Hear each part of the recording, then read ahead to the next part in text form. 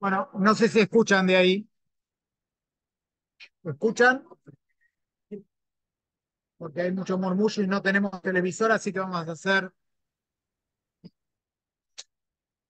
Sí, sí, me manda escucha. por chat. Ah, ya está. A ver.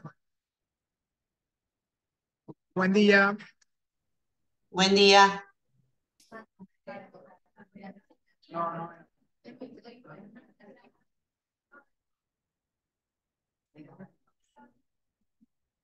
Bueno, chicos, haciendo honor a los que entraron eh, puntuales, vamos a empezar porque tenía que haber un proyector, viene en horario todo y siempre eh, es el que llega primero, no ustedes, sino los profesores. Llegaron profesores primero y no tengo proyector, así que ya, ya presenté mis quejas porque la verdad que no se puede ver casi nada desde acá, pero vamos a intentar hacerlo más hablado que otra cosa, ¿sí? Eh, Igual si entramos online, podemos ver el PowerPoint por detrás. ¿Pueden ver online? Bueno, dale, lo pueden ver desde ahí, pero sería bueno tener el televisor acá o un proyector, ¿no? Pero el que puede entrar online, lo puede ver online y lo comparte por ahí alguna computadora que tengan ahí atrás. Dos cosas. La clase de suma anterior, voy a intentar mandarle yo una grabación porque no entró, eh, no entró en la grabación de Zoom. Esta hora se va a grabar en la nube y hoy a la noche la van a tener eh, grabada, ¿sí? Lo tercero, que muchos me, me avisaron eh, que trabajan, las cursadas en el campo son tanto en Sana como nosotros, son cada dos meses, pero son de lunes a jueves de 8 a 11. Respeten las comisiones. ¿Por qué? Porque ha pasado que dicen, no, yo no pude la semana pasada y voy esta semana y no pueden entrar al hospital o al, o al hospital privado porque no pudieron la semana pasada. ¿Por qué? Porque hay una lista que se tiene que respetar en extremo, sobre todo por el tema de seguros. No pueden ir la otra semana, la semana que viene. ¿sí? El seguro, en teoría, les va a cubrir cuando ustedes tienen asignada la pensión para ir al, al hospital regional. Acuérdense que son de lunes a jueves, de 8 a 11. Tienen que ir con ambos, tienen que ir, no les pedimos de traje, pero no se puede ir con el pelo suelto, no se puede ir con las uñas largas, en lo posible, ahora van a ver por qué eh, y con una actitud de compostura y prolijidad para quien vamos a ver que son personas que no conocemos y que son personas enfermas la mayoría de las veces. Por eso les pido máxima este, esmero cuando vayan al hospital. Insisto, no es que se tienen que ir con traje, ¿eh? pero nos ha pasado que han ido con ojotas y ese no entra, por supuesto, y regresa en el hospital, estamos hablando. ¿sí? Bueno, no, no pueden ir al hospital si no hay vacunas. ¿eh? No, no, no, no sé si hay una fecha límite, pero si la cursada empieza no se puede entrar al hospital sin la vacuna, ¿no? Claro, no se puede arrancar sin vacunas, por una cuestión de seguros también, ¿no? Lo mismo que el que no se vacunó por una cuestión personal puede no ir al hospital y no cursa. El punto que tampoco va a aprobar. Pero por una cuestión, perdón, déjenme terminar, por una cuestión de seguridad de los pacientes no pueden ir sin vacunarse. Dice, pero no me respetan mi, mi aceptación, es que yo no me quiero vacunar. Claro, pero en esa aceptación hay pacientes inmunocomprometidos en el hospital. Si uno va con una alta carga viral, por consiguiente que no se vacuna, no puede entrar al hospital. Sí. Eh, Sí. La, la, Sí. ¿Cuántas dosis sería el mínimo? Porque No. tres, o sea, Lo ideal, la última es antes de las seis, antes de los seis, por lo menos seis meses antes hay que estar vacunado. Sí, ustedes saben que hay un ascenso ahora de COVID que tenemos en el hospital, eh, COVID. ¿eh? ¿Qué es COVID ahora en el hospital? Pacientes con fractura, con apendicitis que tienen COVID. Es decir, nadie está en riesgo de vida por un COVID, salvo los pacientes muy frágiles. Por eso tienen que estar vacunados, ¿sí? Sí. Sí. Bien. Bueno, eso hay que preguntarlo entonces en la escuela cómo se puede subsanar ese problema, ¿sí? Este, entiendo que es un lío porque son muchísimos alumnos y hay que embarazar prioridades. Dije mal, hay que vacunar prioridades como embarazada. No caigamos nadie en esa. Vamos a estar con, va a estar con problemas. Hay que vacunar prioridades embarazadas, adultos mayores. Bueno, chicos, vamos a poner mucha atención así intentamos hacerlo dentro de lo que se puede ver y lo vamos charlando. No se preocupen, yo lo voy a ir hablando. Pero vieron que empezamos con el examen físico y de esto queríamos volver a insistir. Como es tan importante y metódico la enfermedad actual, Acuérdense que la enfermedad actual le lleva años adquirir competencia y eso es lo que pasa, que normalmente entendemos que la enfermedad actual no es tan importante y la enfermedad actual lo es todo para hacer diagnóstico, es decir, los buenos clínicos, los buenos médicos, que también son ginecólogos y cardiólogos, ¿saben qué hacen? Historia clínica. El resto, yo hago electrofisiología. Yo hago en realidad mastología. En realidad, cuando uno se super especializa, no queda exento de hacer una buena historia clínica, porque el que se destaca cuando está presentando un paciente es el que fue metódico con historia clínica. Y cuando no llegamos a un diagnóstico de un paciente, nos vamos al fondo y no vemos qué estudio profundo le volvemos a hacer, sino qué, qué entrevistamos mal. Algo salió mal en la entrevista que no averiguamos algo que nos daba el diagnóstico en ese paciente. Por consiguiente, la entrevista. ¿Qué pasa hoy en día? Cada vez menos entrevistas, no se tocan los pacientes, este, pasamos a los ayudantes, pero después pueden pedirle a algún ayudante que se los pase una interesante entrevista de alguien que escribe en Lancet que en el 2019 fue a hacer una rotación a un hospital X del primer top 10. Y decía, lo que menos hicimos es tocar al paciente, ni en broma, tocar, ocultarlo, ocultar al paciente. Examen neurológico no existe. Y era todo PET, estudios genéticos, citometría, todo tope de gama. Pero no se tocaba al paciente, con todas las complicaciones y consecuencias que trae, ¿no? Simplemente digo, en ese punto, más allá de saber si es bueno hacer un examen físico o no, pongámonos al revés. Toca estar de pacientes y lo que significa eso, que no te toquen, que no charlen, o que te den un diagnóstico de un cáncer y que estén hablando, viendo la computadora, te estén hablando de costado, todo lo que significa para nosotros o para nuestros seres queridos y qué quisiéramos que nos pasen a nosotros cuando nos atienden, ¿no? Nuestro maestro siempre dice, enseñemos bien, porque después son ustedes los que nos van a atender a nosotros dentro de poco, ¿no? Bueno, vamos a ir examen clínico, ¿no? Vamos a poner siguiente. Pero en teoría tendría que estar ahí. Bueno, acá volvemos a decir lo mismo. Lo que dice que hay una persona enferma y no un órgano sistema. ¿Qué tiene Lucho? Bueno, Lucho tiene una neumonía. No, ¿Qué es lo que le pedimos en la impresión diagnóstica. Lucho, de 20 años, diabético tipo 1, mal controlado, tiene una neumonía aguda de la comunidad. Casi estábamos diciendo lo mismo, que es una neumonía pero le agregamos una serie de comorbilidades que tiene el paciente que nos dice qué es lo que tiene. Y lo que hablamos en la, la anterior, y este Lucho que tiene 20 años ya tiene tres hijos, y es sostén de la familia. Wow, eso no estaba incluido en la historia clínica y vino el especialista X y dijo, dejarlo internado 15 días porque es muy importante porque la guía dice, pero le da de comer a los hijos, no tiene otra forma de sostén. Y ahí empiezan a surgir algunas cosas que en la guía no se tienen en cuenta, que es lo social, lo económico, lo psicológico, lo emocional. ¿sí? Sin decir que las guías no sirven, tenemos que adaptar la guía a lo que nos pasa a nosotros en Mar del Plata, por ejemplo, en el hospital privado o en Mar del Plata en el hospital regional. ¿Y qué le pasa a ese ser humano con esta enfermedad? Bueno, fíjense que dice, es un encuentro entre un paciente que tiene un sufrimiento y el médico que tiene las destrezas. Por ahora escasas, las estamos entrenando, pero queremos que se encuentre con un médico con muchas destrezas. Las destrezas no solo son importantes con las manos en el examen físico, sino la, destreza prevista en, lo que vamos a preguntarle, en lo que vamos a, percibir. Ustedes van a ver, dentro de poquito vamos a tener un manual que ustedes van a tener acceso a los primeros de la, de la asignatura, ¿no? Y alguien dice, bueno, cuando estás revisando a alguien, alejate dos pasos y ve la mesita de luz, ¿Qué significa? ¿Qué podemos ver nosotros en una mesita de luz de un paciente? ¿Qué, se les ocurre cuando está enfermo el paciente o la paciente y tenemos la mesita de luz? ¿Qué podríamos observar ahí? Los medicamentos que toma. ¿Qué más? La comida. Bueno, en teoría, ojo que la comida se trae en una bandejita en horario puntual, ¿no?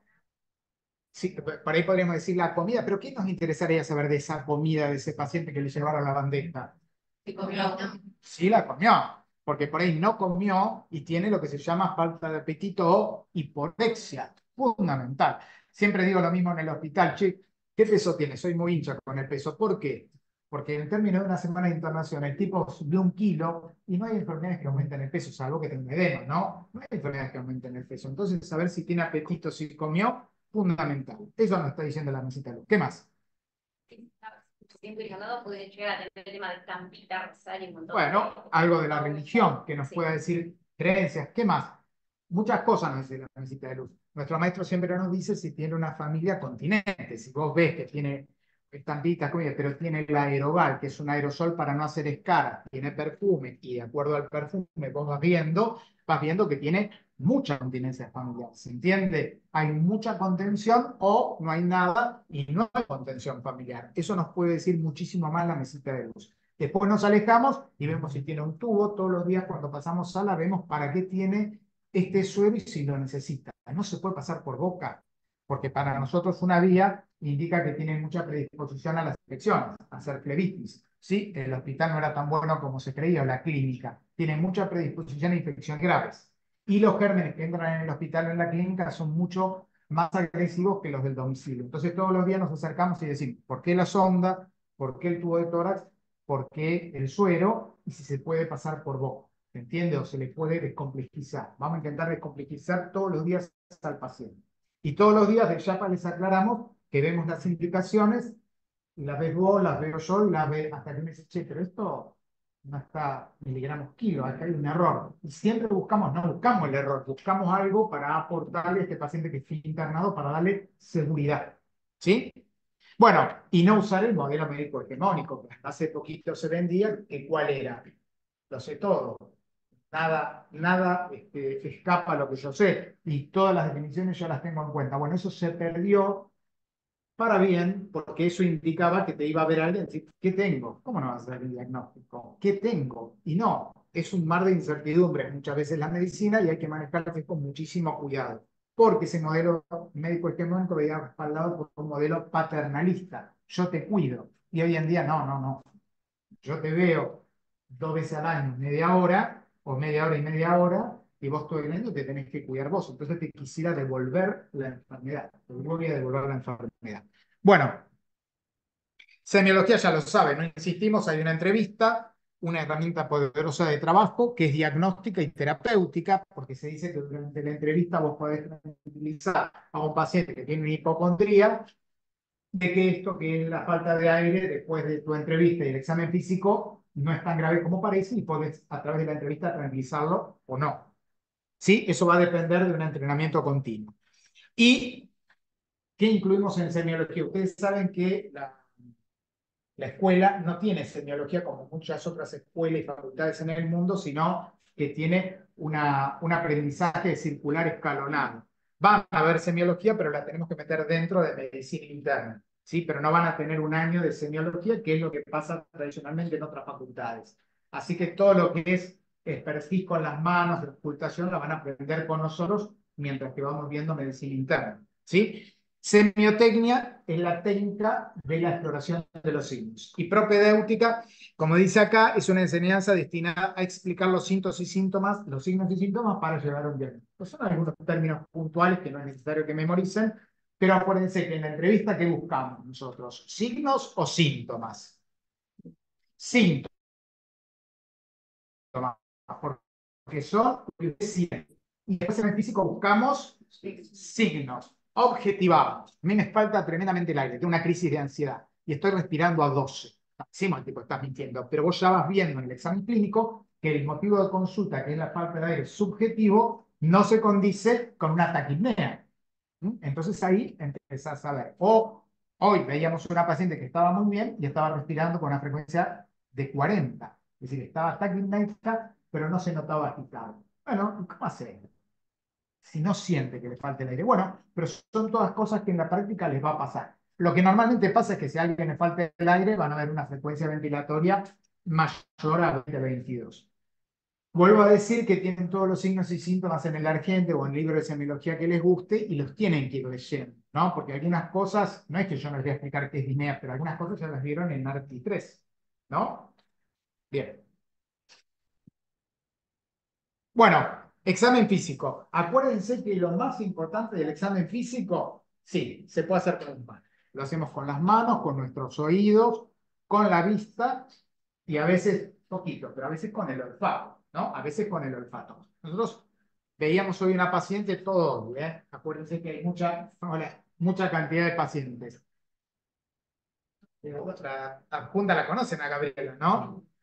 Eh, Eh, Siéntate, Gaby, donde vos Bueno. en la cama, como sientas ahí. Creo que Eh, hoy vemos una paciente que tenía una neumonía y en el contexto de la neumonía decía algo categórico, pero cuando yo vine a la consulta escupí y no se podía entrar a la habitación. Bueno, eso tiene un valor semiológico que es el olfato. El olfato no entra. Sí, sí, también es un sentido que tenemos que poner en juego. Y el olor putrefacto cuando uno espectora en el contexto de una neumonía nos hace pensar más que en una neumonía común en un absceso del pulmón. Fíjense cómo el olfato, pero les quiero decir que no siempre, pero van a ver que en el hospital hay cosas que son muy patognomónicas, que son de un dolor desagradable, y es importante que en eso también se pongan cancheros, aunque no es todo feo en esto que vamos a hacer. Pero el olor entra en el juego, ¿no?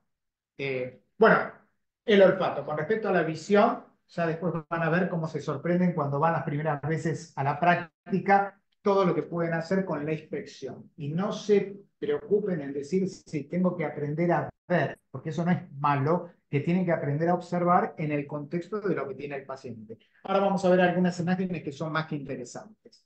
Después, con respecto a la audición, vamos a hacer la ocultación. Igual que es interesante, nosotros ya nos ocultamos en forma directa, como hacía Lenet. Gracias a Lenet, ocultamos no con un fono, sino con el estetoscopio. ¿Sí? Crean ustedes que los que van al hospital, cuidado con los estetoscopios que se pierden, se roban, así que es suficiente con un estetoscopio, viste que todos tienen para, para tomar la presión, con esa información. Después vamos a ver cómo se usan las olivas para adelante, qué distancia tiene que tener, y lo ideal que el estetoscopio tenga membrana y campana, porque eso nos permite ocultar los sonidos agudos y graves, ¿correcto? Hay un ruido que es típico que ya vamos a aprender en cardiología, que es el tercer ruido, que es grave y se oculta mejor con campana, ¿correcto? Bueno, y por supuesto, les decía que la otra vez el, el sociólogo este que nos enseñó mucho medicina y era un terapista, un terapista haciendo sociología, la estaba viendo a la abuela y la abuela dice, doctor, eh, ¿no me va a ver el pulso? No, no, está en 85, sí, el monitor, pero no, no me va a revisar el pulso. Abuela, 90 y pico de años, internada en la terapia. No, estoy diciendo que está en 85, sociólogo. ¿Por qué quiere que el pulso si está normal? Porque estoy acá, nadie me tocó. La abuela. Lo que se está diciendo es algo que es un aprendizaje. Nadie la había tocado porque era todo técnicas, oxímetro, magnesio, presión arterial, y esto de tocar al paciente, tomarle el pulso, muchas veces da una idea de cercanía, de interés y de contacto. Esto es terapia. Hoy en día, lamentablemente, se está desmoronando. Pero lo que creemos en él, y muchas veces nos pasa a los clínicos, creemos que la construcción tiene que seguir haciéndose con un examen físico adecuado. No pasa todo el día en el consultorio, ¿no, Gaby? Y además eso de, de tocar, de hacer el examen físico, palpar, le da también mucha seguridad al paciente. Que uno corrobore algo que, bueno, en este caso en la terapia uno esté mirando desde un monitor. Eh, eh, esta- Hay cosas de tecnología que nos dan mucho, nos dan mucha satisfacción, como, digamos, y no, mucho recurso, pero todo lo que es vínculo con el paciente eso se tiene que perder. Así que hay que tener un equilibrio. ¿no? Ni todo el otro de antes, No. todo tecnológico. Seguro. Bueno, después les voy a pasar a alguien que me pase el teléfono, les voy a pasar ese artículo, viste, que pasé en el grupo. Sí. Muy bueno, dice, no está mal que hagamos genética, citometría, que sea complejo, la- pero que no toquemos, ni sepamos qué le pasa al paciente, ni qué le pasa a su familia. Bueno, y ahí viene el tema de cuánto se vale involucrar cuando están revisando un paciente en diferentes escenarios donde esté trabajando cada uno de ustedes, ¿no? Eh, la base nuestra siempre es la misma e intentamos hacerlo metódicamente en orden para que no se nos olvide nada. Porque si, che, ¿viste el señor de la neumonía? Sí, lo vi. Se oculta, no, pero le viste el tórax. Y ahí aparece el primer error. No, lo oculté con esto. No, pero viste que tiene una lesión eritematosa, como parece en las películas, ese grano gigante, y lo que tiene es una empiema necesitan, que es que algo está buscando drenar a la superficie porque tiene una infección importante subyacente. Y eso se inspecciona. Che, ¿no viste que estaba tomando el desayuno y de golpe empezó a faltarle el aire y el hemitórax derecho no se mueve? Ah, tiene una telectasia. Pero eso es observación, no se hace con ocultación simplemente. Por eso siempre nosotros nos basamos en estas premisas que son inspección, después palpamos, percutimos y ajustamos. ¿Sí? Siempre en ese orden, salvo en el abdomen, donde nuestra percusión están afilados, ¿eh? están afilados. Donde la percusión puede modificar la aplicación. Muy bien. ¿Por qué lo de la uña? Este, por ahí no toda, pero el dedo, este hay que negociarlo porque este dedo es el que va a ser, ya lo vamos a aprender cuando hagamos la práctica, se hace justamente sobre la interfalángica distal la percusión y se hace con la punta. Fíjense ustedes ahora, lo hacen sobre el banco y hacen esta maniobra sobre el banco como suena, con la punta. Háganlo así porque tiene una uña larga y no es lo mismo. ¿Sí? Así, de hacerlo con la punta del dedo. Y recuerden que tenemos aulas, salas de seis, donde hay siempre un murmullo. Entonces la percusión tiene que entrenarse muy bien para que tenga un rédito y no solo esperar la placa a ver qué viene. Porque el ascensor se rompió y el aparato de rayos falló. ¿Qué hacer? Y no lo puedo revisar, no, no, no, para eso hacemos una buena entrevista y un buen examen físico y después nosotros utilizamos los estudios para que sean complementarios. Cuando el estudio complementario maneja el diagnóstico, hay problemas. ¿Algo más, Javi? El dedo. Esto que, que, dice Luis, que parece, parece como algo que pasa de largo, pero el, el, la, nuestra, nuestra presentación, cuando vamos a, a realizar un paciente, es súper importante. En el caso de las líneas largas, es una limitante y que podemos hacer algo que no sea objetivo cuando, percutamos o cuando hagamos palpación, es lo mismo, ¿sí? Lo mismo con el pelo, con, con que tengan pelo largo, ¿sí? Parece una tontería, pero cuando uno se va a, a acercar al paciente y el con el pelo suelto, se le cae todo el pelo, entonces todas estas cosas parecen que, que no, digamos, que pueden pasar de largo, pero no pasan de largo. ¿no? Es, no solamente es antihigiénico para el paciente, sino que es incómodo que le tiremos los pelos encima al paciente. Así que son detalles que cuando uno entra en esta situación de que va a hacer exámenes físicos o en el campo, en el caso del HPC, Liga o en el CAPS o en consultorio ambulatorio, donde sea, hay algunas cosas que tenemos que percibir nosotros como identidad que además nos da fidelidad a lo que vamos a hacer. Entonces, todos esos pequeños detalles, a veces cuando nosotros decíamos, vengan con ambos, vengan con el pelo atado, vengan con las uñas acorde, no tiene que ver con que nosotros estamos mandando un patrón de imagen, sino que es además para que sea efectivo en lo que vamos a hacer, ¿sí? Y higiénico, porque parece que no, pero cuando recorran liga, toda la parte que nosotros podemos corroborar en cualquier medio de salud con la higiene es altamente eficaz, ¿eh? Sea, le hacemos un bien. ¿sí? Así que bueno, todo eso parece un detalle que son muy grandes. ¿sí? Bueno, con respecto a esta imagen, eh, no sé quién me pidió el libro y yo se lo mandé, este libro. Después lo podrás pasar al resto.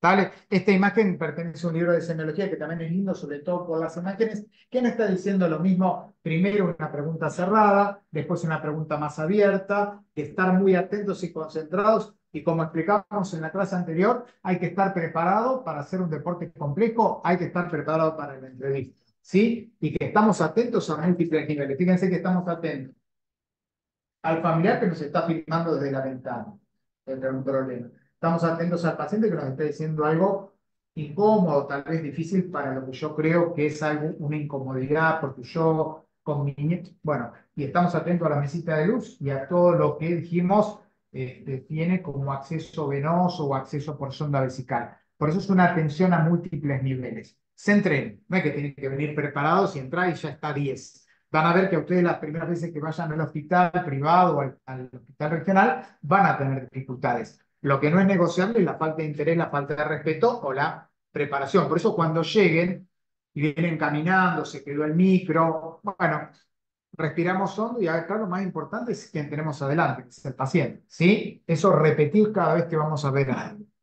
Bueno, eh, y acá lo que dice la imagen es, le estoy diciendo el diagnóstico. ¿Sabés cuántas veces viene? Le quiero contar 20 tipos afuera esperando para ser atendido y decir, no, no, hacete estos análisis y escucha, vamos.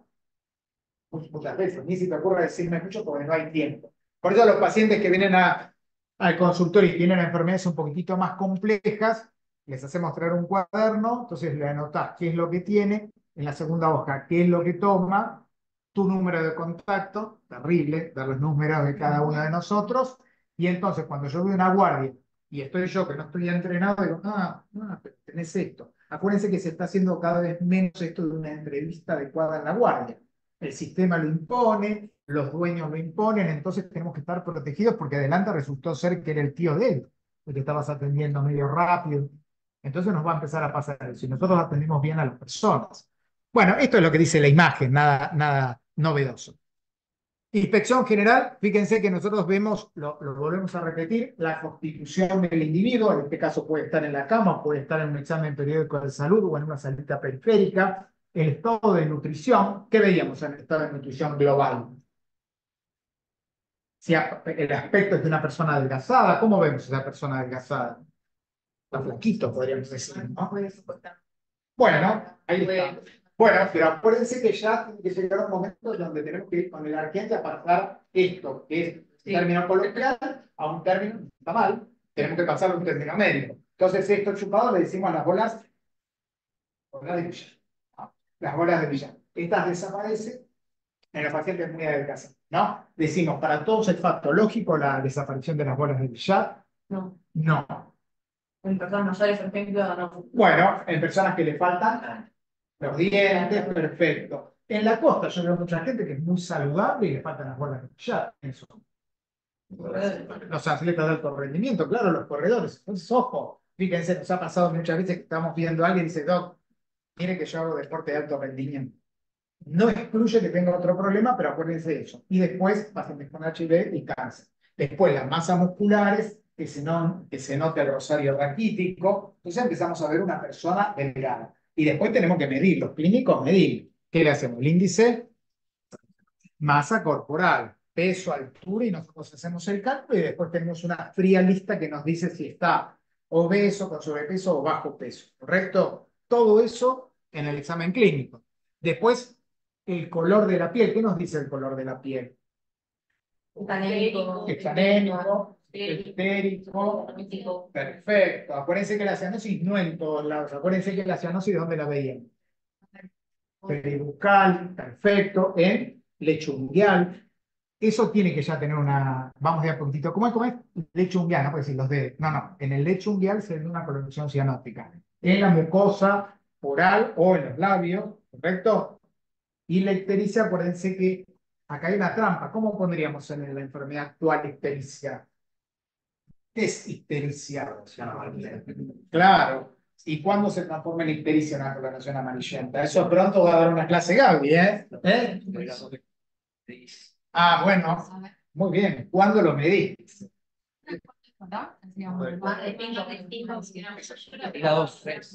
Ah, ahí está más cerca.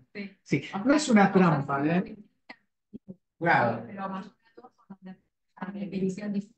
No es una trampa, pero si cae una embarazada que se está comiendo todo el zapallo y tiene carotinidemia, carotinidemia, que es la coloración amarillenta de la piel, no de las conjuntivas, y le decimos esa noche que estamos muy cansados, bueno, mañana venir porque parece que estás amarilla, que una hepatitis, la enfermedad no. Y es grave eso, no es una cosa banal. Entonces, ¿cómo clasificamos? ¿Cómo hacemos la inspección? Esencial y cómo lo traducimos y cómo la anotamos en nuestro registro, ¿no?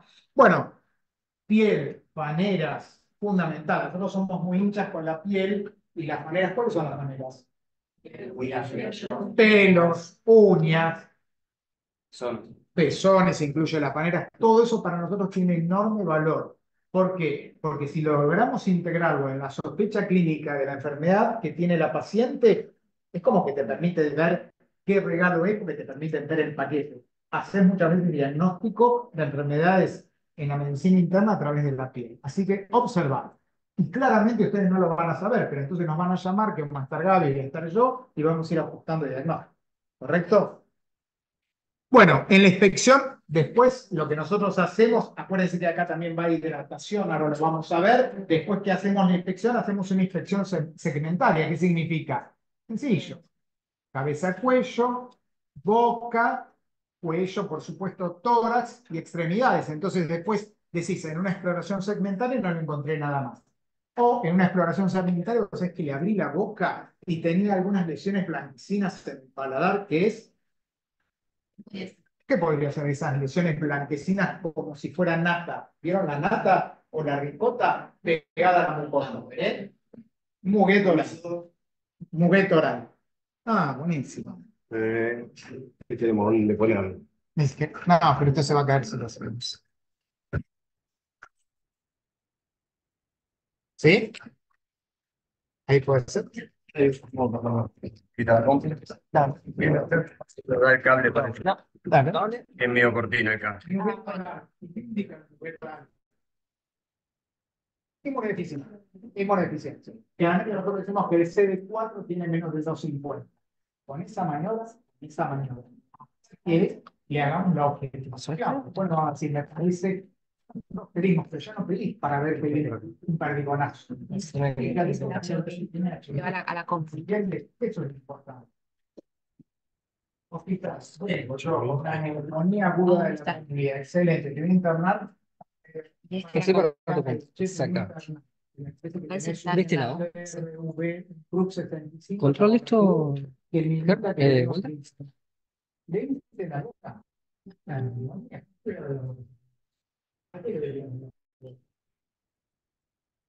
Para ver si se mueve. Entonces cambia el nicho. En un neumococo. El HIV predispone a algunas neumonías que no tienen los pacientes inmunocompetentes. Eso que es verdad. El examen clínico, poder tener el mejor médico que si no hace un examen físico adecuado, no se hace. Claro, entonces siempre la neumonía del boca es el mismo. Boca, Eso sí. del vas, ves, abrir la boca y ves si tiene. ¿Vos dijiste? ¿Sí? Sí. ¿Qué más deberíamos hacer? Ya que estamos en la boca segmentariamente, ¿qué podemos ver? Las piezas dentarias, si faltan piezas dentarias, quiere faltar. ¿Qué podría hacer? Que falten piezas dentarias a una persona de 20 años. Hay dos zonas. Edad, se le cayeron las piezas. Me encantó. ¿Dónde faltarían las piezas? La Y 80% de los que toman no. 80%. Uy, no más pe. Sí, sí. Sí, pero- Dependencia alcohólica. 80 se ve que cambia el Ahora, ahora, ¿no? Alcohólico, cocaína. No, no, digo, mira, los que tienen dependencia del alcohol Sí. es alcohol y cocaína. Terrible, ¿no? Eh, entonces le faltan las piezas dentales, ¿dónde? Adelante. Tomemos, como miremos nomás, pero tiene buen recurso económico. Olvidamos, tiene implante. Sí, pero no tiene, pero tiene implante. Igual por eso es esencial el o sea que vamos con la cocaína que más revisamos. El servicio, el bello, y sobre todo que tenga un buen puente de la nariz. Puente aplastado, porque todos los días es un efecto diferencial. Y la razón nuestra es abuso de cocaína. ¿Correcto? No les quiero hablar del, del que ustedes no van a hacer. Porcentaje alto de mujeres que van a ir. Gracias. Gracias. Gracias. Gracias. Estamos diciendo, escucharon, ¿no? Dando porcentaje, alguien se después de una investigación puede preguntar qué porcentaje, si alguien lo quiere dar a conocer. Bueno, estamos en la boca. Dientes. ¿Qué otra cosa le puede faltar a un pibe de 20 años que protege a los dientes? ¿Qué protege a los dientes? Además, la saliva. Hay algunas enfermedades que afectan la parotia, rara, ¿verdad? pero hace que una boca seca, por esa enfermedad, sin dientes. Miren todo lo que nos dio la boca. Y también tiene una úlcera no dolorosa en la lengua. ¿Qué podemos hacer? Y todo eso, chicos, infeccionando la boca. Toda úlcera que no cicatrice en forma crónica en la boca, es cáncer o una micosis profunda, puede ser complejo. Pero para eso hay que abrir la boca. Y no tiene que faltar esto, motivación. Insisto, no es por ustedes, yo eh, cuando voy a revisar a alguien, me tengo ir a revisar como si fuera a revisar quiero hacer el diagnóstico. Y bueno, lo que nos pasa un poco a los clínicos, a los médicos que nos gusta hacer esto, es que tenemos un poquitito de satisfacción cuando hacemos diagnóstico. Bueno, malo, ¿no? Y mirada del observador. Yo cuando estoy viendo personas que tienen mujer y tienen, por ejemplo, por una pavada, tatuaje, 20 años atrás tiene tatuaje, le pediste a Chile, ¿no? O tiene, está en diálisis, le pediste virus. Bueno, hoy no hay nadie que se dialice, las serologías pedidas, ¿se entiende? Por eso puede haber errores de sesgo y de anclaje, que es lo que nos eh, venimos nosotros, teníamos con una información previa que hay que tener cuidado porque puede llevar a cometer errores. Dale, Sí, pasamos. Bueno, este es el paciente, lo que decía en la inspección, que tiene una lesión, diríamos. ¿Cómo podríamos decir que está en el paladar duro? Que respeta, bueno, acá no, no se ve tan exacto, pero respeta la línea media y que es vegetante. ¿Se entiende? Con lagos vasculares, arteriales, venosos. Lo que- estamos diciendo es que este señor se debe internar, aparte porque no es un linfoma, se debe internar porque sangró. Si esto sangra, se muere.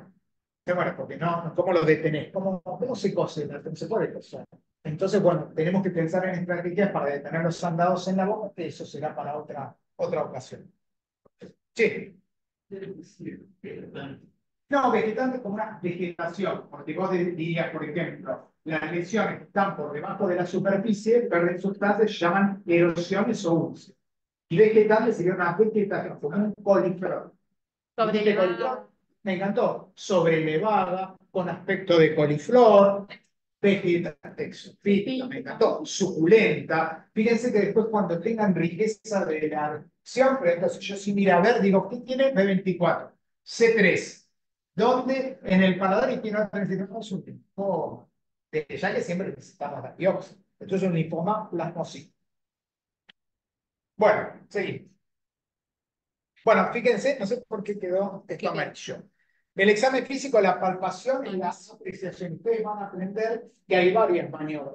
Nosotros cuando evaluamos, y los evaluamos en la habilidad, que vamos a tener pronto una habilidad, no es que le decimos las siete maniobras.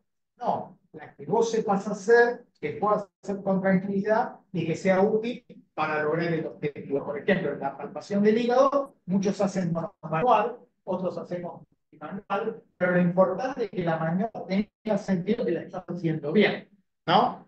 Después, ¿cuáles hacen? La que ustedes vean. Lo que sí les aconsejo que cuando vayan al hospital lleven en el teléfono, tanto el argente como el baré, De Baré Califano. baré califano. Igual, entrénense en una, la que se sientan más cómodos, ¿eh? porque a veces te empiezan, no, bueno, podríamos hacerla así, pero la que ustedes se sientan más cómodos. Eso va a ser cuando empiecen a practicarla, se van a identificar con una, ¿sí? ¿sí? Y nos van a preguntar.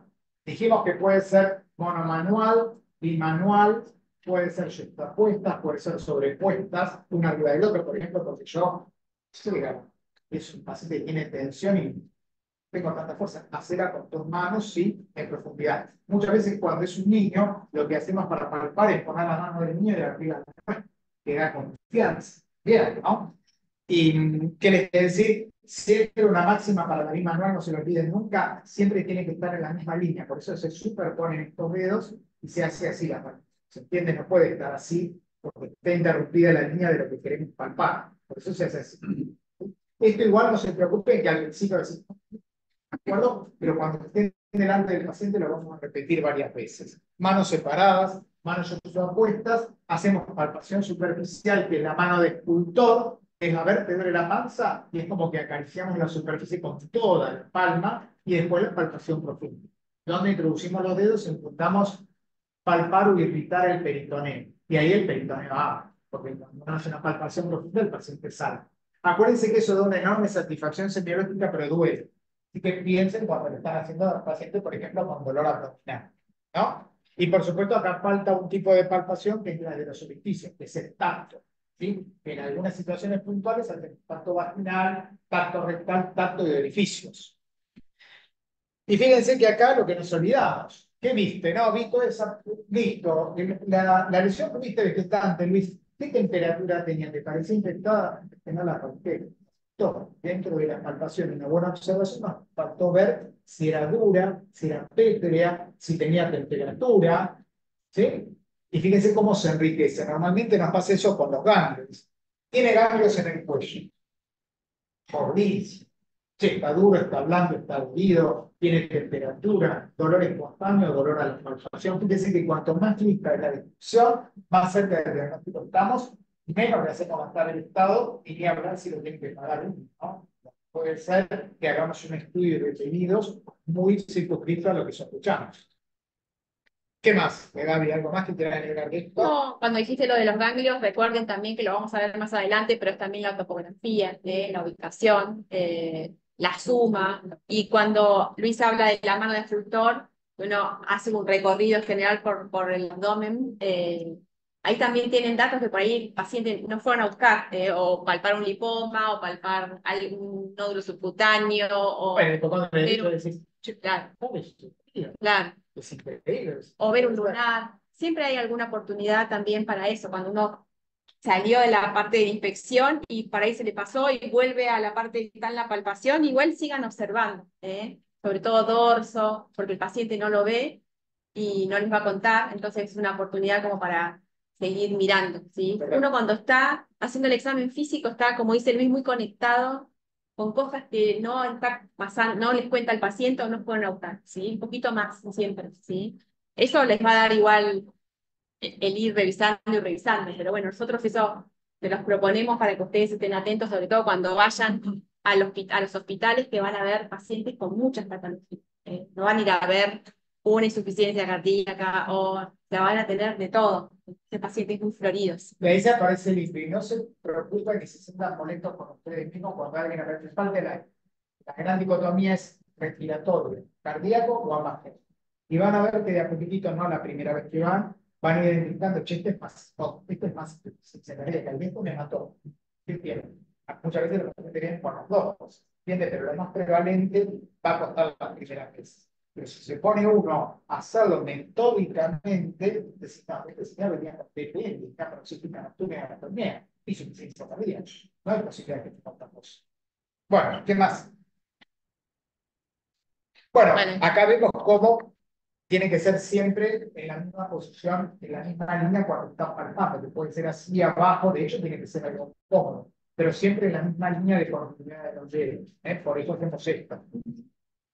Y ahí estamos buscando un punto cístico donde ponemos los dos pulgares en la parte media, línea medio clavicular del epitoral derecho y la maniobra de nuestro duelo. Respiro, sin explicarle, pues si le explicase gas el procedimiento. Interrumpe la respiración, tenemos un punto cíclico positivo que nos habla de cómo ¿Sí?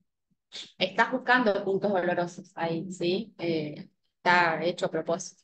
Bueno, acá una parte de la palpación que no la incluimos en la otra parte, que son las respiraciones vocales. Ustedes van a ver entre ustedes, pues está interesante que lo empiezan a hacer entre ustedes. Cuando hacemos la palpación de tórax, en la parte anterior, intraclavicular o en la posterior, cuando decimos una consonante que se repite 33, van a ver que hay una vibración que se percibe en las manos. Y en la práctica hay que hacerla sin énfasis. Si quieren con una solita, si les sale mejor, que por palpa son las metacarpo palanque. ¿Eh? Es La, la región que palpa. Se palpa acá, se palpa en la parte lateral y palpamos en la parte posterior. También forma parte de la palpación las vibraciones. Correcto, ahora vamos a ver después lo complejo, una vez adquirida la maniobra, pues cómo le integramos al síndrome que lo usamos con el paciente. Y eso es hermoso, porque esa parte la da la enfermedad actual. Bueno, No, y después recuerden, lo van a ver, en el Vareca hispano está súper temático para que Sí. lo aprendan rápido, que cuando uno busca vibraciones vocales está tratando de, de, digamos, de percibir las vibraciones desde el parénquima. Entonces, muchas veces los vemos que palpan por arriba de la escápula, en dorso, y está mal. ¿eh? Hay que, digamos, hay que despejar la parte ósea y palpar bien sobre el lugar donde podemos palpar, eh, pal- hacer palpación del parénquima. En este caso sería interescápulo vertebral, es el lugar donde nos queda. Si lo tenemos a Luis y yo lo tengo a él, yo tengo en columna, ya tenemos escápula, no puedo decir, diga 33, ¿sí? voy acá, ¿sí? voy acá, estoy como desviando la parte ósea, ¿sí? ¿Está? Lo vamos a aprender igual en el laboratorio, pero está muy esquemático explicado en el Vareca Hispano para que lo, lo lean. cuando vamos a rendir un final, ¿dónde está? Y estoy ocultando acá en T12. Yo, perdón. Eh, examen, porque eso es algo básico, topografía, todavía no lo hicimos, pero cuando vayamos a ver semiología, hay un pequeño capitulito, acá el libro, de topografía, con coincide la séptima quilopina, hasta dónde llega la punta de la escápula, ¿sí? Eh, la espina eh, T3, la punta de la escápula es T7. Nociones topográficas hay que tener, entonces llega el pulmón acá. Siempre nos decía nuestro maestro, o Verávez, ¿dónde llega el pulmón? Bueno, hasta Bueno, ¿hasta dónde llega? Anterior, llega. Entonces uno, aparte de permitir y darse cuenta de dónde es sonoro y dónde aparece la matidez, tiene que tener una Un reparo anatómico, a sí. dónde llega. Que es hasta la tetilla 5, y acá llega, porque acá el pulmón se interrumpe por la matidez cardíaca. 3. Ahí te queda una. Porque uno dice, bueno, no, no, acá está la matidez hepática. Cuando vayan, tienen que integrar la maniobra que están aprendiendo con algo de base. Bueno, sí. Oh, dale. Sí, acá vamos a hablar. Dale. Oh. No, decíamos que hay que tener en cuenta topografía, ¿sí? Topografía. Y eso viene todo en el Argente. El Argente no es el libro perfecto, ¿eh? Tiene su falencia. No tienen que comprarlo, viene en PDF y decimos que también está el Chaposny, que es excelente, el Sanguinetti, el que tengan a disposición ustedes. ¿Sí? Seguimos. Bueno, palpa y toca el cuerpo del paciente. Ha- hace poquito el sábado pasamos por la guardia y había una, paciente con una tumoración suprapública. Por supuesto estaba confusa, porque si no nos hubiera dicho, quiero dar pic", no nos dijo esto, porque estaba confusa, estaba desconectada. Y tenía un globo de tal que si ustedes lo veían era así, parecía un embarazo, pero no estaba acá arriba, estaba acá abajo, suprapúbico, de concavidad inferior, que es la vejiga o el cavidad superior, las- por supuesto tenía un globo vesical. Bueno, para eso nos sirve la palpación. Recuerden que con cuál vas a palpar. Si ustedes mismos, si es más sensible la derecha, la izquierda, las metacarpopalénticas y el dedo, pero cada uno con su mano, para ir laburando, tiene mayor o menor sensibilidad, con qué se palpa mejor la vibración y con qué se palpan mejor los rebordes de los órganos, y ahí van a ver si la mano derecha la izquierda, yo prefiero hacer las vibraciones vocales con las dos manos. Voy comparando, diga 33, diga 33, ¿sí? Esta es una maniobra que la van a usar mucho en el hospital porque hay mucha citis, porque hay mucha cirrosis, porque hay mucha hipertensión portal y en la maniobra de la onda cítica. Muy específica, maniobra de la onda cítica de ascitis. Recordemos que esa es una materia de concavidad superior, ¿correcto? Inferior es globo y embarazo.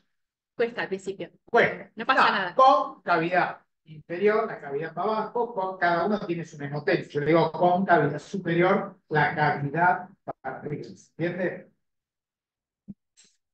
Bueno, la percusión decíamos que es esto, ¿ves?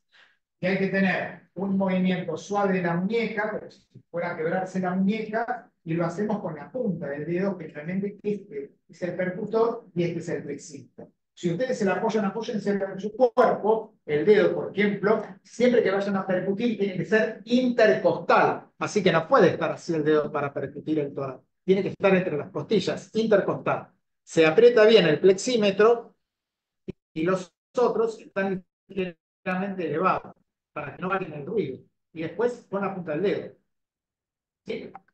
Y lo que tiene que pasar, no sé dónde entró la matidez, empiecen de abajo para arriba.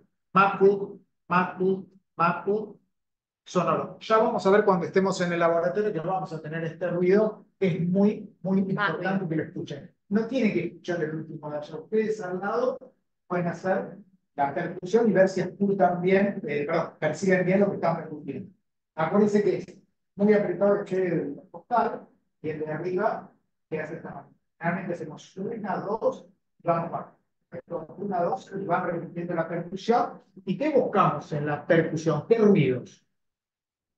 Sonoridad, palidez y en el estómago, timpano. Siempre que nos hayamos comido, ¿no? Por eso siempre el examen del estómago, si lo quieren hacer y ver que sea timpánico, tiene que ser a la mañana cuando todavía no desayunamos. O el espacio de Traube. Siempre el hígado y el vaso está en el espacio de Traube. Y ese es timpánico siempre y cuando no hayan comido. Bien. Vale. Ya después los vamos a ver con más atención. No se preocupen porque es una percusión difícil, que es la percusión del vaso. Nosotros vamos a buscar vaso y está lleno de pacientes que vamos a buscar vaso en el hospital, porque dijimos que hay mucha cirrosis. La cirrosis trae hipertensión portal y la hipertensión portal nos da hiperestrenismo, vaso grandote. Entonces, es muy frecuente que ustedes vean en el hospital y puedan palpar o percutir el vaso. El vaso se percute mejor que lo que se parte. Ya les digo esto y no lo puedo más.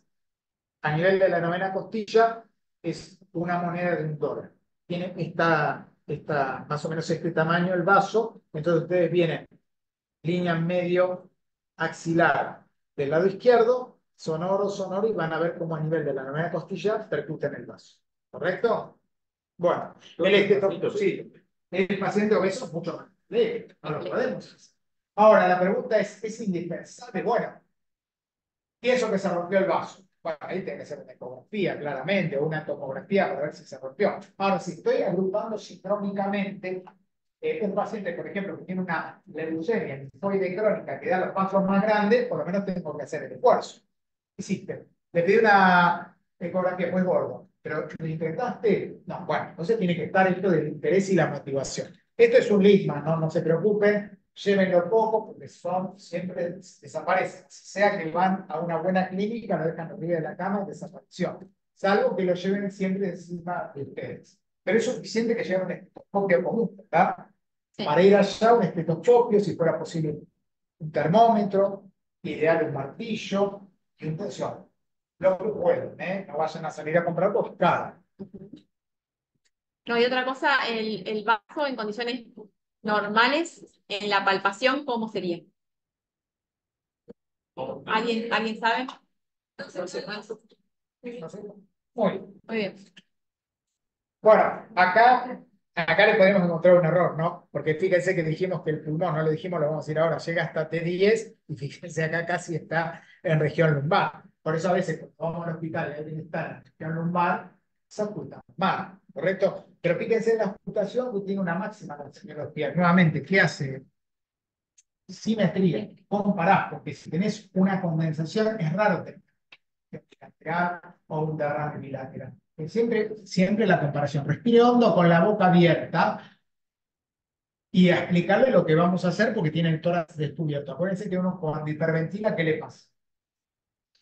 se marea. Hay que avisarle que si se marea, me avise. Pero fíjense cómo hace, y como decía Gaby, idealmente interescápulo vertebral. ¿Estamos de acuerdo? Y esta que después la vamos a ver con tiempo, que son los focos auscultatorios cardíacos, donde ahí hacemos, eh, digamos, nos lucimos con la auscultación, tanto respiratoria como la auscultación cardíaca. Cuanto más apoyen el estetoscopio en zonas que no es trascendental, también hacen diagnóstico. Normalmente nosotros escuchamos en el asma sibilancias. Las sibilancias en el asma son respiratorias. Entonces nos ha pasado que entramos a una sala y escuchamos con una sibilancia respiratoria con un coronavirus. Ah, porque estamos coronamos una sala. Una placa y nos y le apoyamos enseguida el enfoque de la placa y nos damos cuenta que tiene una función alta porque es inspiratorio. Por eso siempre la observación, la ocultación, la, eh, lo que escuchen ese entrenamiento continuo en estos pacientes. ¿sí? Bueno, la anamnesis y el examen físico son los más poderosos para establecer diagnóstico, pronóstico y terapéutica que los estudios complementan eso.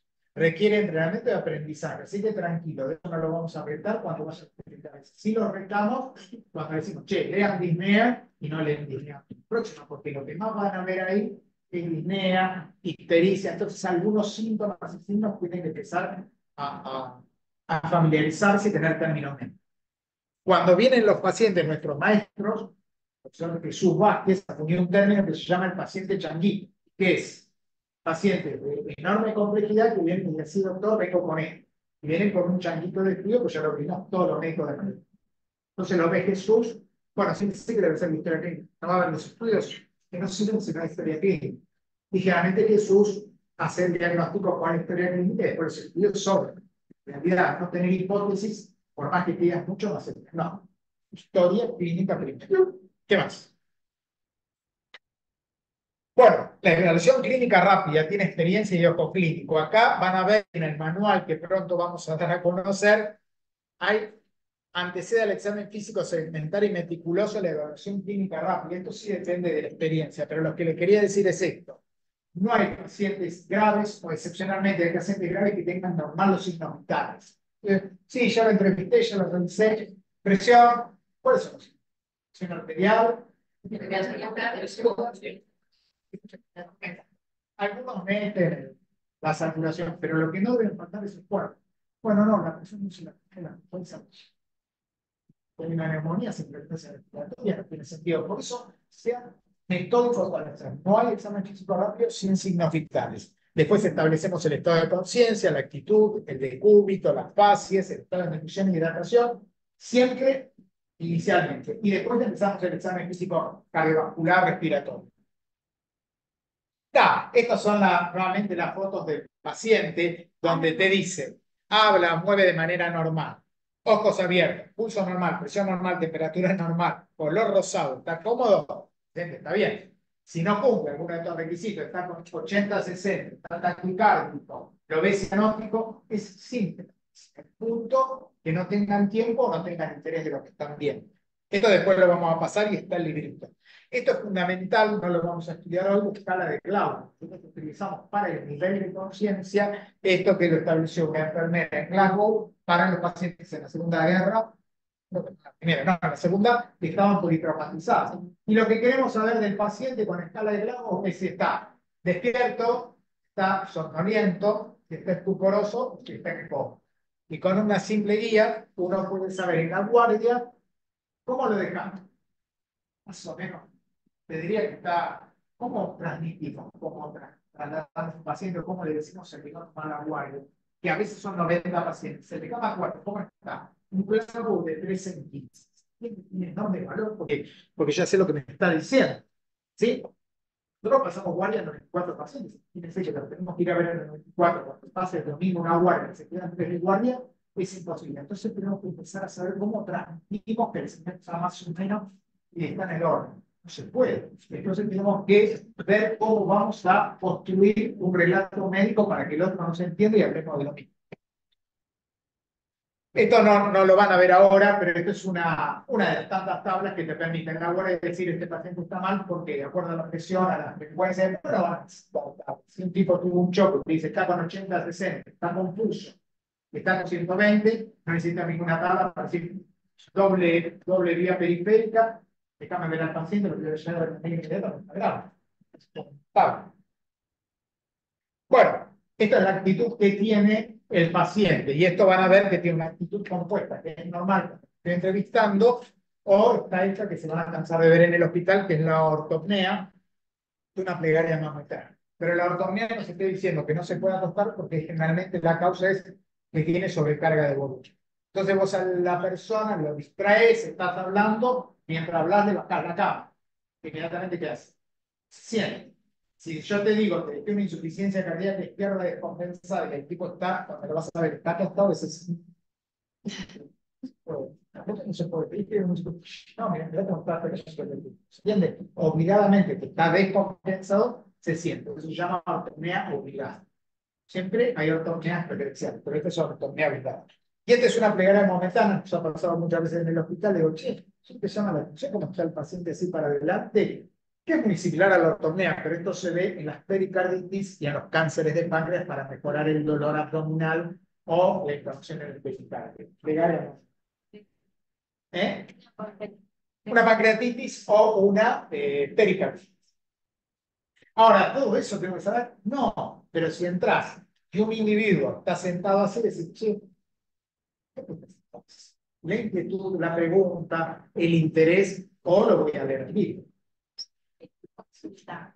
Sí. Una bibliografía viva y estaba entre lo preferencial y obligatorio. Por eso, obligatorio es que no podés acostar. Pero yo me quiero acostar, no puedo.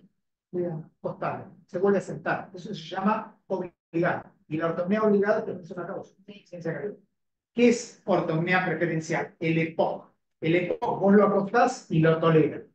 Pero prefiere, eso se llama preferencial. ¿Por qué? Porque cuando uno tiene POC, lo que hace sin que nadie le haya enseñado es se agarra de la cama y pone en actividad el dorsal ancho y expande mejor el pulmón. Ortopnea preferencial. Pero a ese lo acostás y, lo toleras. En la insuficiencia cardíaca se siente. Por eso se llama ortopnea ah, obligada y la otra preferencial. ¿Ah? Sí. Bueno, la otra vez con respecto a los decúbitos, esto es importante porque pasábamos a ver a un paciente en la guardia y veíamos un paciente por, que estaba con las piernas flexionadas y le digo, ¿qué es eso? ¿Qué es eso?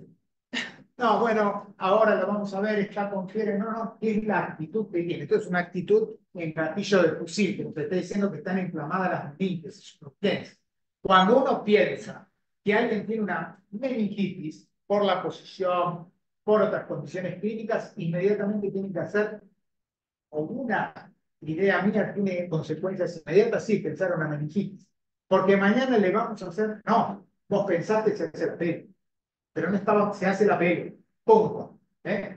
Nos ha pasado hace poquito, gente salía de esta escuela, meningitis, puesto en la historia clínica y subía al piso. En la meningitis, la nada, viste, se me un poquito, pero cosas al paciente no te separas no se puede hacer la pele porque a veces nos pasa con el antibiótico fuerte. Pero no se puede poner algunas cosas que ustedes ponen en historia clínica tienen consecuencias. Si uno pone una meningitis, tiene que inmediatamente hacer una función normal con algunas consideraciones. ¿Sí?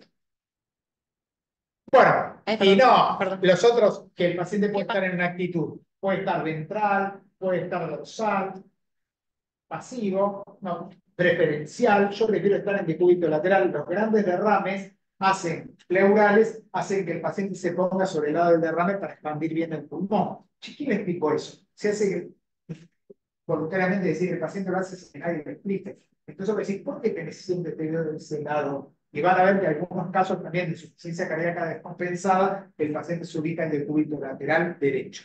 Dorsal, ventral, lateral, y puede tener a veces eh, posiciones laterales. Eso se llama, eh, no, posiciones de cúbito lateral. Algunas veces tienen nombres propios, no vamos a decir los nombres propios para que no se locos. No es necesario saber los nombres propios de algunos ciclones. Bueno, esto casi no se está, eh, casi no se está usando hoy en día, pero para que tengan idea de que el paciente puede ser brevilíneo, medio niño o longilíneo. ¿Por qué? Porque a veces les va a pasar que entra un paciente con una enorme estatura y puede ser que tenga un síndrome de Marfan o un Marfan brújulo. Y eso se puede ver en las posiciones. Nosotros hemos tenido muchos diagnósticos de síndromes que son de niños que le hacemos el diagnóstico cuando entran al hospital. ¿Por qué? ¿Qué tiene la posición baja de las orejas?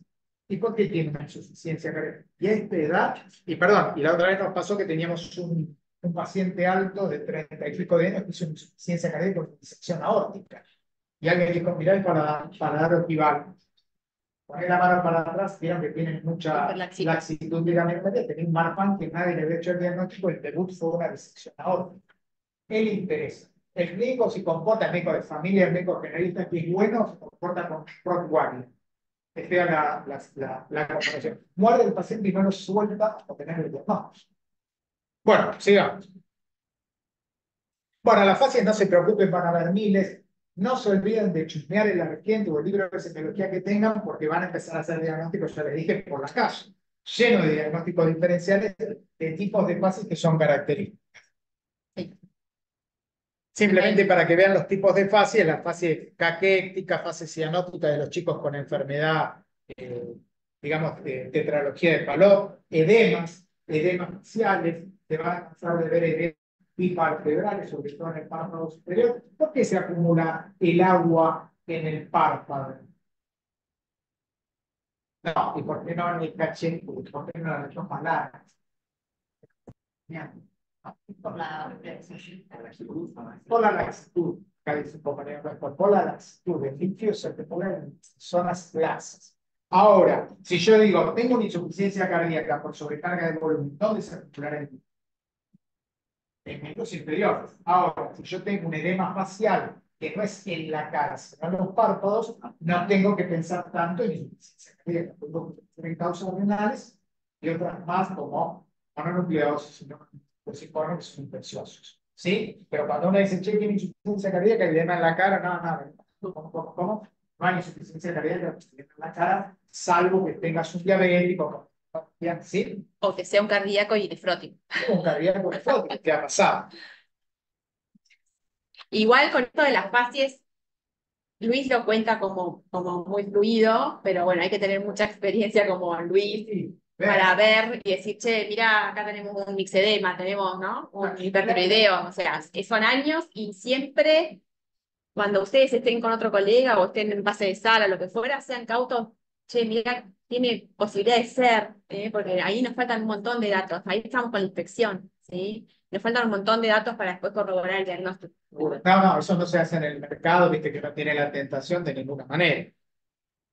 Bueno, signos vitales, esto le quería decir, la hidratación, que es una pregunta fácil. Primero tenemos que tener una causa. Muchas veces le tomamos casos donde el abuelo entró o el adulto mayor entró con una diarrea profusa. ¿Qué tiene? Deshidratado. Bueno, ¿cómo lo ves? ¿Cómo lo examinas? Y nosotros vamos a ver enseguida las mucosas, le saque la lengua, vemos esa lengua que con el brillo no brilla con la luz porque está deshidratada, pero puede ser que el abuelo pudo haber estado con la nariz tapada y entonces se respiró por la boca o ahí me sonaste, y entonces vamos a ver los globos oculares, una de las cosas más específicas de deshidratación es el globo ocular. Ya lo van a ver en sana, pero recuerden que para nosotros también sirve.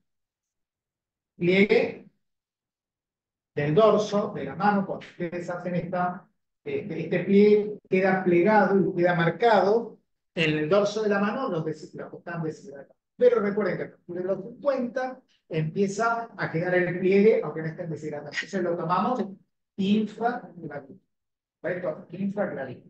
Bueno, ¿y qué más está deshidratado? ¿Qué va a tener en sus vitales? Hipotensión y taquicardia. Excelente, no falla. Entonces vos decís, che, ya mismo, tenés dos días, rápido, vamos a hidratar al abuelo con la precaución de no sobrecargarlo porque tiene corazón bravo. ¿Correcto? ¿Algo más? Tenemos que controlar en el abuelo que no tomó agua y sospechamos que está deshidratado. Tiene control. Porque generalmente este abuelo ya nos va a decir, si no nos dice, va a contar que tiene oligoanuro. ¿Sí? Coordinando un poquito dentro de la hora o dos horas. Y por último, y fue un bebé que le va a faltar. Después la famosa Muy bien. Y en el adulto lo hacemos, pero le podemos tocar las axilas. y a los dos, a los bebés y a los abuelos, si usan pañales, otra de las cosas, ¿eh? que tenga el pañal seco. Mucho bueno, fíjense qué rico que es todo esto que estamos viendo, ¿no? ¿Qué más? Bueno, índice de masa corporal que lo vimos. También. Sigamos. Ah, bueno, ahí no se ve. No, esto les quería mostrar nada más. Si uno pudiera describir lo que ya terminamos. ¿Cómo describen esto? Para arriba era suculento, vegetante, para abajo se llamaba úlcera. Cuando hay pérdida de sustancia es úlcera. Si yo te pido que digas el borde, anfractuoso, sucio, ¿cómo es el borde? estas son las úlceras bien arteriales. ¿eh? Bien arteriales. Fíjense que parece que alguien se lo cortó con una navaja. Cuando vean las úlceras venosas van a ver que tienen fondo sucio y sobre todo que están anfractuosas, son irregulares el borde. Esto es una úlcera arterial, un síndrome raro. ¿Y esto? Son demoraciones, tubérculos, pero tienen contenido, no se ve con claridad. Lo que tiene es santomas eruptivos en una paciente que tenía hipertrigliceridemia arriba de 10.000 y entró por una pancreatitis. ¿Sí? ¿Para arriba de cuánto, saben? A ver si nos cuentan mañana. Mañana. Por, por, arriba de cuánto de triglicéridos tiene riesgo de pancreatitis. Claro. Bueno, ¿qué más? No, tejido adiposo, acuérdense, una cosa fundamental, cuando vayan a buscar en el hospital, y ya se lo vamos a mostrar, no se encuentra en cualquier lugar de la pierna el edema. Lo vamos a buscar en el tobillo, pero sobre todo en la parte, toquense ustedes la pierna, la parte interna donde está la cresta de la tibia, porque siempre se busca sobre un hueso. Van a buscar sobre el músculo en la parte externa. ¿Sí? Y cuando vayan a buscar edema en el muslo, vayan a enterrar el dedo hasta el fémur, que me parece mala idea, si no hacemos pincita. ¿Correcto? Pincita. Pincita. Agarramos el lateral de la pierna, lo mismo que en el abdomen. Pincita. Si no le tenemos que la...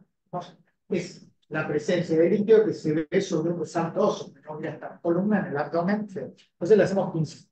Recuerden que cuando hay edema en una persona que está encamada, se lo buscamos en el santo. Perfecto. Bien. Esto lo vamos a ver en la última, en las últimas clases, el sistema linfático, pero recuerden siempre que 80% de los gránulos están del cuello para arriba, ¿eh? la región torácica superior para arriba, 80%. Después tenemos que ir al resto de las áreas y vamos a describirlas un poco mejor cuando nos toque adenopatías, que voy con una simulación. Bueno, osteomioarticular no lo vamos a hacer acá. De hecho, todo esto ustedes lo van a ver en la última clase de- del ciclo y el año que viene. No, y esto por lo menos para que tengas una definición de fiebre. Fiebre no es febrícula, febrícula, poquitito de fiebre, es más de 37,8 y generalmente por convención nosotros lo tomamos en la axila. Pero de tomar bien deberíamos tomarlo en la boca o en el recto. Es una cuestión básica, no lo hacemos y lo hacemos definimos temperatura alta o fiebre a partir de 37,8 en la axila. ¿Correcto? Para todos hablar el mismo lenguaje.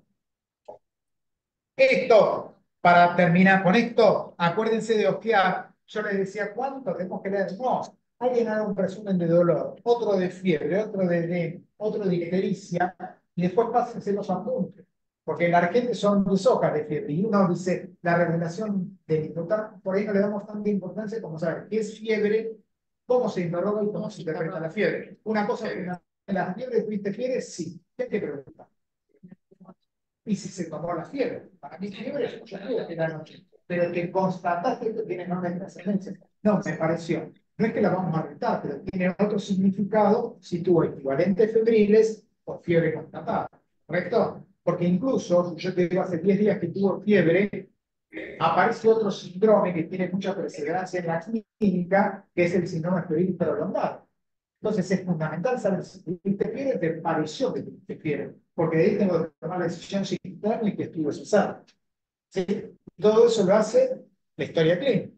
Interrogatorio, sí. Interrogatorio. Y cuando constatan que tuvo fiebre, bueno, en, en un día, ¿cuántas veces se tomó? Cuánto, o sea, hacer una, una curva térmica, porque eso también nos da orientación etiológica. ¿eh? Eh, no da lo mismo que, que tenga dos picos en el día, que bajen con, con antitérmicos, todo eso se está, está escrito, así que está bueno que eso lo aprendan porque está, está, está el artículo de fiebre, está el capítulo y, y es muy rico para saber para dónde voy, ¿eh? porque fiebre enorme, Eh, eh. ¿sí? Sí. Bueno, creo Bien. que terminó acá. ¿Terminamos? ¿Alguna pregunta? Acuérdense una cosa para terminar. Cuando uno va a una guardia, Gaby, cualquiera de nosotros, en 10 minutos vos sabés cuánto leyeron. Cuando ustedes estén como médicos, cuando sean cardiólogos, ginecólogos, clínicos, anestesistas, la riqueza de cómo estudian esto se va a ver reflejada en cómo se prepararon en la escuela, de cuándo leyeron. Entonces, lean ahora, es la oportunidad en semiología, yo sé que tienen que leer muchas cosas, pero no dejen de leer y... Dale. ¿Eh? ¿Para grupo? Bueno. Bueno, ¿alguna pregunta, algo que quieran, chicos? Espero que se haya escuchado.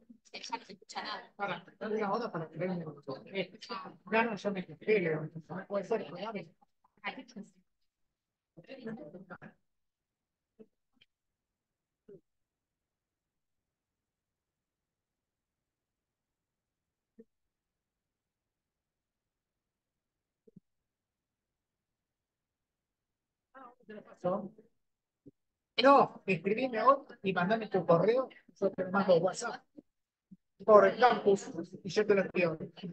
No. Para, para que no se estrope. Sí, voy. Para.